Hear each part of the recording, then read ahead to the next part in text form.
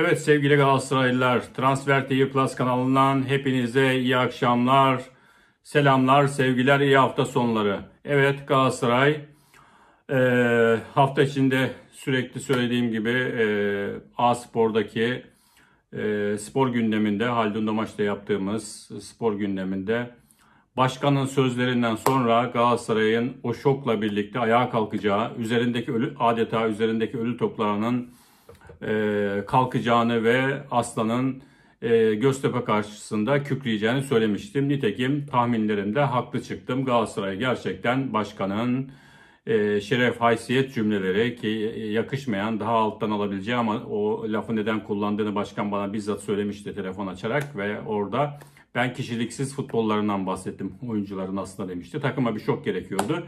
Bu şoktan sonra gör bak e, Göztepe maçında takım nasıl oynayacak, nasıl ayağa kalkacak demişti. Gerçekten de öyle oldu. Galatasaray muhteşem bir golle, Diabate'nin attığı muhteşem bir golle bence bu sezon şu ana kadar izlediğim en güzel gol. E, yılın golü belki de olacak bu sezon atılan goller içinde. Avrupa'da da bu hafta izlediğim, şu ana kadar izlediğim en güzel gol. Avrupa'da haftanın golü de olabilir Diabate'nin golü. Ama Galatasaray hemen reaksiyon gösterdi ve Göztepe'ye e, bu muhteşem golün dışında ilk yarıda pozisyon vermedi. E, Kerem Aktürkoğlu, Erzincan Spor'dan alınan genç Kerem Aktürkoğlu hat-trick yapar, yaparak maça damgasını vurdu. Galatasaray'da herkes adeta iki kişilik oynadı. E, tabii kaleci, kaleci Mustara'ya çok iş düşmedi dediğim gibi. Savunmasından orta sahası, forvetine kadar. Galatasaray ki olmayan forvet dediğimiz işte Babel'inden, eee Mustafa Muhammed'inden, Falcao'sundan bunlar yoktu ama kim vardı? Halil Dervişoğlu vardı, Kerem Aktürkoğlu vardı. Muhteşem oynadılar. Halil Dervişoğlu sakatlanıp çıkana kadar o da muhteşem oynadı. Takımına penaltı kazandırdı, net pozisyonlara girdi. Yani herkes iki kişilik oynadı. Başkana mesaj gönderdi. Biz Galatasaray'ın futbolcularıyız. Bizim biz onurumuzla bu formayı terletiyoruz. Sağda aslanlar gibi savaşıyoruz.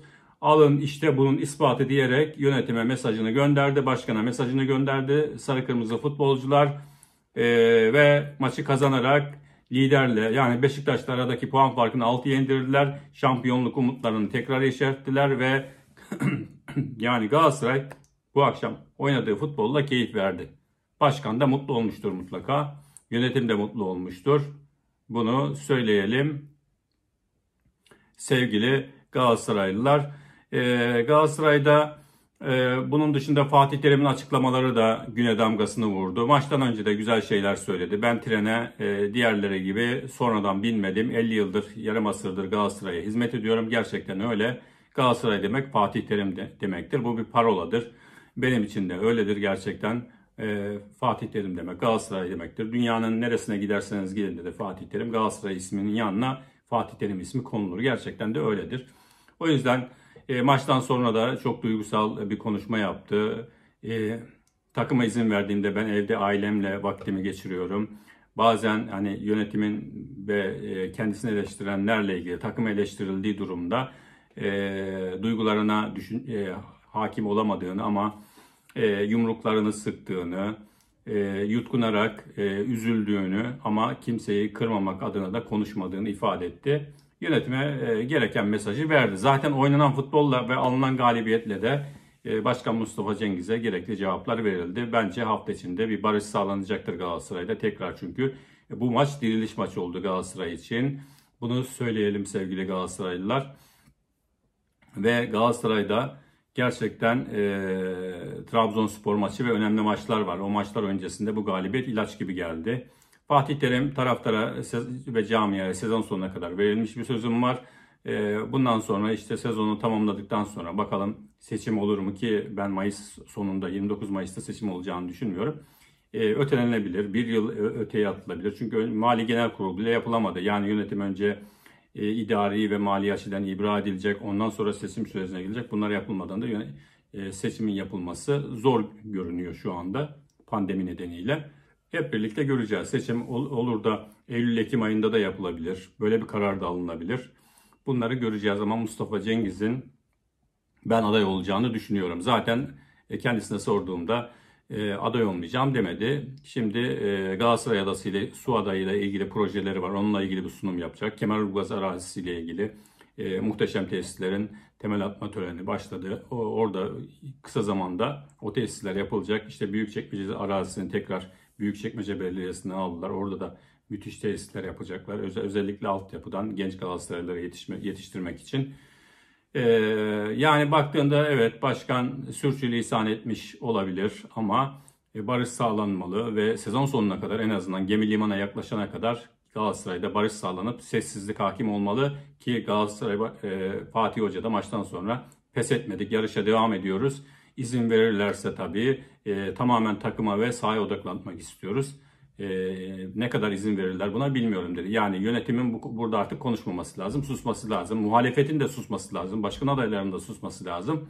Ve tamamen herkesin takıma Galatasaray'a odaklanması ve Galatasaray'ın başarısı için çaba göstermesi lazım sevgili Galatasaraylılar.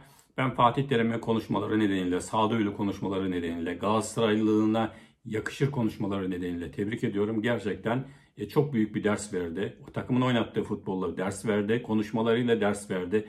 Camia için ne kadar büyük bir isim olduğunu bir kez daha gösterdi. Ve konuşmaları gerçekten e, ben izlerken duygulandım. Gerçekten duygulandım. Onlar benim evlatlarım dedi. Ve herkes hata yapabilir dedi. Bizler de hata yapıyoruz dedi. Gerçekten hata yapan insanın da yüzüne bu hataları vurmamak lazım. E, herkesin e, özellikle büyük kulüplerde, bütün kulüplerde aslında perde arkasında e, oturup toplanıp eteklerindeki taşı döküp sorunları kameralar önünde değil de içeride halletmeleri gerekiyor. Bu da Galatasaray'a bir ders olmuştur diye düşünüyorum. Fatih Terim'in konuşmalarından herkes hisse kapmalı. Yönetiminde, camianın muhalefetinde, başkan adaylarında ve Galatasaray'ın artık başarılı olması için şampiyonluk şansı hala devam ediyor. Tek ses, tek yürek olması gerekiyor. Bunu Fatih Terim e, bu akşam çok güzel anlattı. Maçtan önceki konuşmalarıyla anlattı. Maç içerisinde takım oynattığı futbolla anlattı. Maçtan sonraki konuşmalarıyla anlattı. O yüzden e, sevgili Galatasaraylılar Galatasaray'a sahip çıkmak lazım. Fatih Terim gibi bir hoca çıkardığı için Galatasaray camiası ona sonuna kadar sahip çıkmak lazım. Galatasaray taraftarının da Fatih Terim'in arkasında dimdik durması gerekiyor. Şu an için e, herkesin Galatasaray'ın başarısı için susması gerekiyor ve bu takım alkışlamalı ve destek vermesi gerekiyor. E, sevgili Galatasaraylılar, dünya üzerindeki bütün Galatasaraylılara sesleniyorum. Evet mutlu bir gece, mutlu bir hafta sonu Galatasaraylılar için, gurbetçi Galatasaraylılar için de. Onlara da Türkiye'den kucak dolusu sevgilerimi iletiyorum. Ee, özellikle Almanya'dan çok e, sayıda e, Transfer TV Plus kanalına abone olan e, gurbetçi Galatasaraylılar var. Onlara da çok teşekkür ediyorum.